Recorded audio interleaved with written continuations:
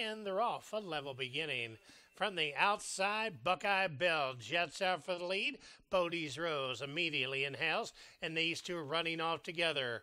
It's Buckeye Bell with a lead by a length and a tail. Bodie's Rose in the red jacket in second, down against the rail. Nana Rose in lime green, being passed on the outside by Channel Spirit in a blue cap, and trailing about 10 out of it. That is safe, some for me. As they make their way into the far turn, opening quarter 22 and 2.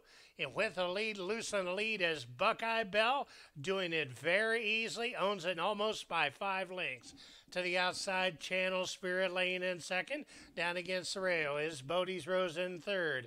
About five to six lengths back. That is Say Some for Me as they make the way to the top of the stretch. And with the lead as Buckeye Bell and McKee hasn't moved a muscle in the saddle and doing it very easily. A half and 46. It's Buckeye Bell just getting away from this field. McKee shakes her up and now takes off. The daughter of Liam's Map is five to the good. They're going to be tough to catch from here. It's Buckeye Bell in the final 16th of a mile, and Buckeye Bell is running up the score. Running second, Channel Spirit, rounding up the try. Looks like it's going to be close between Bodie's Rose and Save Some for Me.